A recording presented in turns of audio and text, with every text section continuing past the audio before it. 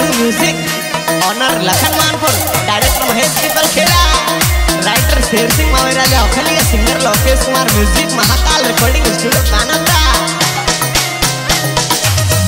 यह desi beat Mahakal studio Kanota